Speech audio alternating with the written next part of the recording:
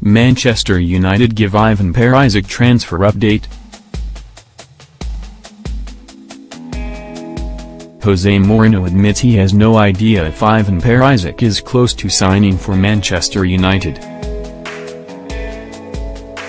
United are confident of completing a deal for international winger Perisic but the Italian club flies to China for their pre-season tour on Tuesday and the Croatian's future remains unresolved.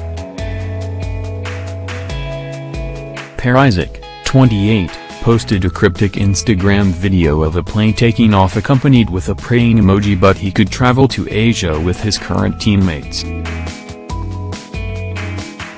When Mourinho was asked about Perisic after United defeated Real Salt Lake, he replied, no idea, my friend.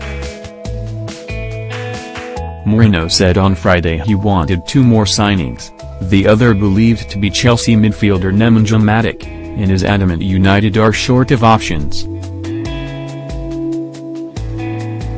We don't have our door closed, we are not happy with just Lukaku and Lindelof, we need more, Mourinho stressed. We wanted four, so I would say 50 of the job done. But I don't want to say that because everything is so difficult, I would not like to be in Edwards' position negotiating because everything is really difficult.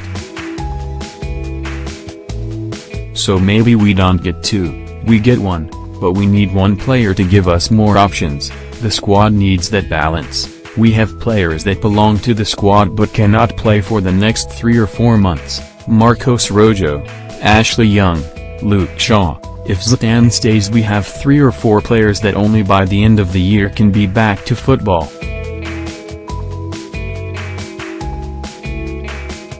So we need two more players I would say, at least one, but I don't want to say Matic or any other name because I don't think it's correct.